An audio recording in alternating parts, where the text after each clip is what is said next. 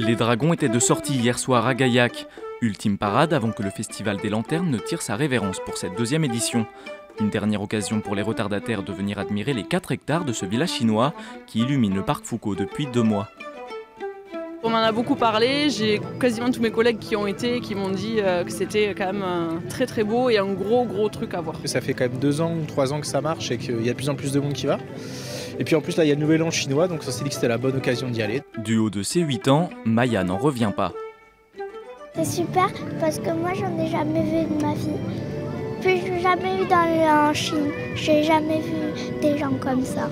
Avec une fréquentation en hausse de 70% et près de 370 000 visiteurs, cette deuxième édition du festival est un succès. Si les Tarnais ont dû dire au revoir aux quelques 800 lanternes, les artistes chinois sont eux aussi un peu nostalgiques.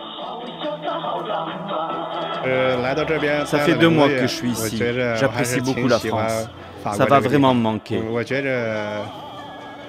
Ce genre de festival, c'est bien parce que ça vous permet à vous, les Français, d'en apprendre bien plus sur notre culture chinoise.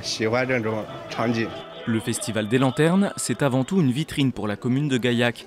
Plus de 350 tours opérateurs ont inscrit l'événement dans leur calendrier cette année. Un succès populaire qui pose déjà la question d'une possible troisième édition.